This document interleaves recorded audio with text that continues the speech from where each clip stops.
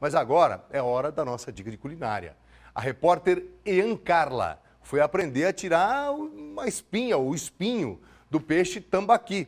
E vai te ensinar agora a prepará-lo na folha de bananeira. Vamos ver. Olá, sejam todos bem-vindos a mais um Culinária. Hoje a gente veio num lugar paradisíaco. Sabe para quê? Para falar de natureza, para falar de coisas boas e de culinária. Quem nesse período de isolamento social já não foi para a cozinha tentar fazer alguma coisa diferente? Por isso, nós vimos até o sítio São Sebastião do artista plástico Luciano Pinheiro, que hoje vai nos ensinar a fazer uma coisa bem diferente, né, Luciano? Tudo bem? Bom dia, tudo bem, com certeza. Luciano, você também é daquele que vai para a cozinha e gosta de fazer uma terapia, né? Uma cozinha, uma terapia na cozinha para poder passar o tempo. Sim, realmente eu gosto muito. É um hobby que eu tenho há muito tempo e uso como uma terapia, que é gostoso, né? A gente cozinhar, ter o prazer de oferecer uma comida boa para as pessoas que a gente gosta também.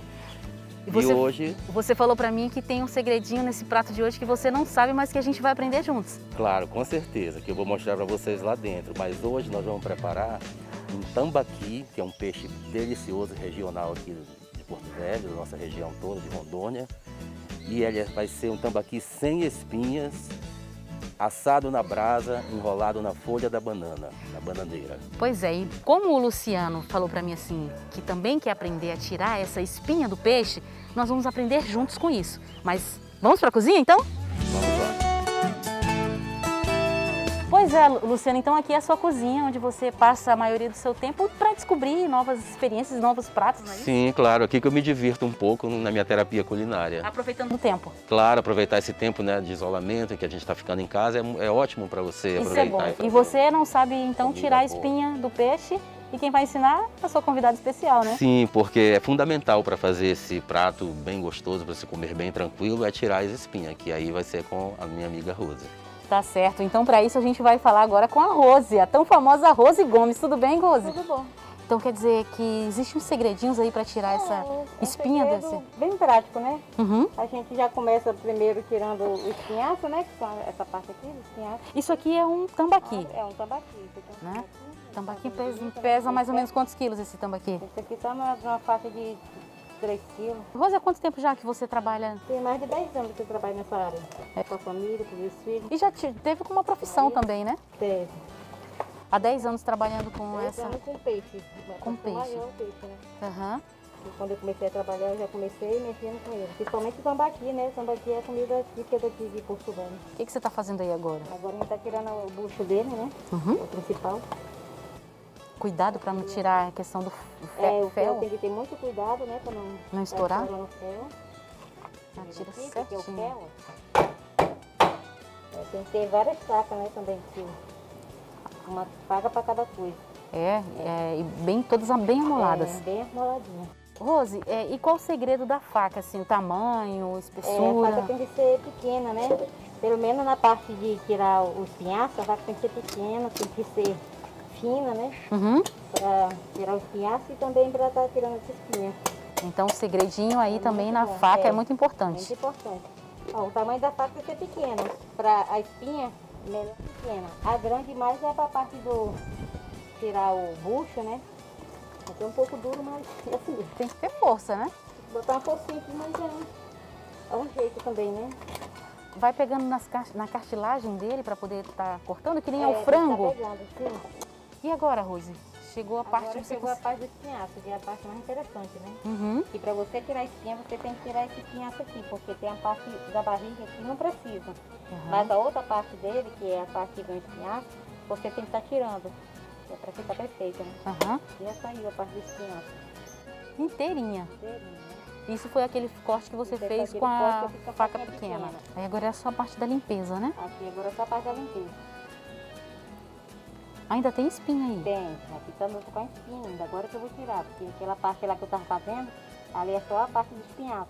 Então, Rose, agora para limpar, dentro também tem as espinhas menores, é, né? espinha dentro, essas espinhas aqui são as espinhas do espinhaço. Aqui não precisa. É como se fosse a costela. É, é costela. Aham. Aqui eu acho que não precisa a gente estar mexendo, né? Porque É bem grande a é espinha, bem né? grande, não tem como, não tem perigo. Uhum. É uma espinha sem perigo. Certo, As que agora tem perigo são essas aqui, né? Que são essa parte. Aí daqui da costela. essa parte, essa parte aqui, o que que é? Essa linha? Essa linha aqui é onde você entra com a faca entre ela.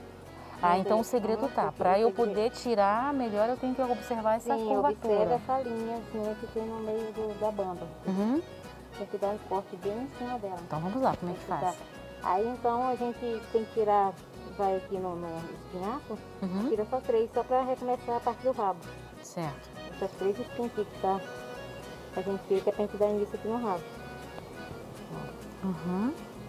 Aqui a gente tá tirando a espinha do rabo, porque a espinha do rabo ela é muito sensível, ela é bem fininha. Então você tem que estar bem atenta, Ai, gente, entendeu? eu- eu- o detalhe é que dá pra ver benzinho a É, espinha a já. gente sente na faca, a gente Ah. sente. Você vai cortando, você vai sentindo ela. Aí do Entendi. que você vai sentindo, você vai afastando, né? Como que você aprendeu, Rose, a tirar essa... Aprendi com um colega meu, ele tirando, né? Eu fiquei observando. Aí eu tentei fazer, aí consegui. Tem que ser bem, bem certeiro É, pra não tirar muita carne do tirar- peixe. É verdade. Pronto, o tambaqui tá limpinho agora. É, tá limpinho, tá tirada de espinho, tá? Pronto, peixe prontinho, limpinho. Agora é a parte do Luciano. Ele vai rechear essa banda de tambaqui aqui para que a gente possa saborear daqui a pouquinho. Muito obrigada, viu, Rose? Obrigada.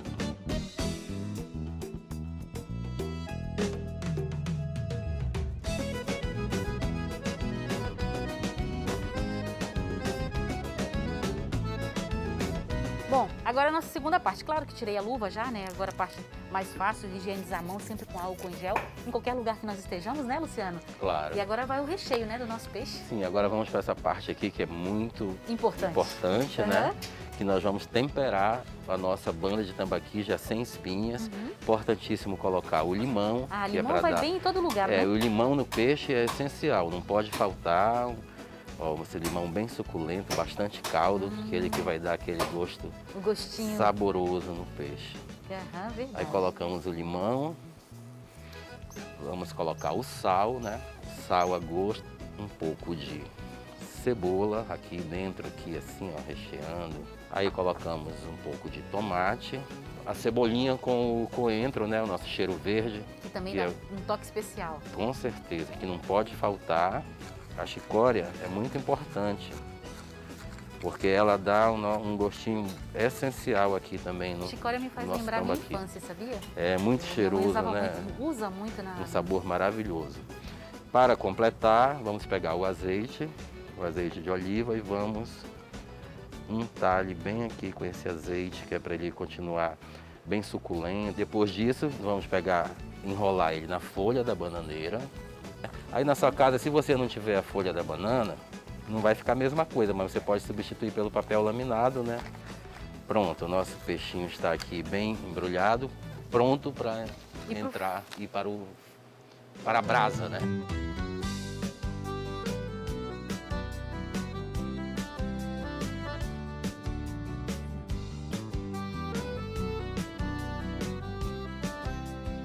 Bom, então enquanto o peixe está assando, a gente aproveitar para dar uma conhecida um pouquinho no sítio São Sebastião. Luciano, então, quer dizer que você tira a touca, né, gente? Fica mais à Claro. vontade. Então, assim, quer dizer então que você gosta de estar sempre assim em contato com a natureza, né? Sim, com certeza, direto. Eu já moro aqui há muitos anos e para mim é o melhor lugar do mundo. Ô, é- coisa boa. Essa canoa aqui, funciona aqui? Dá para dar uma Sim, voltinha? claro. Vamos dar, vamos experimentar. Vamos, vai. Vamos. Aqui é bem rasinho, né? Bem tranquilo, né? É, aqui é super tranquilo, ó, bem raso o lago, tem muitos peixes, tem traí, é, traíras, tem carais, tem tucunaré. Nossa, que gostoso. É o- Quando você escolheu esse local para viver, exatamente porque você queria tranquilidade. Sim, a tranquilidade, né, o contato com a natureza, eu acho que é onde eu, eu busco a paz, né? A culinária, a natureza, o bem-estar, né? Sim, Tá no paraíso. Muito bem-estar, né? Tudo são formas de terapias. Bom, depois daquele belo passeio de canoa, nada melhor do que um peixinho agora para matar a vontade, né? Depois de todo o trabalho que nós tivemos aí, né, Luciano? Claro, e agora vai ser a nossa hora sagrada. Pô, coisa boa, né? Comer, né?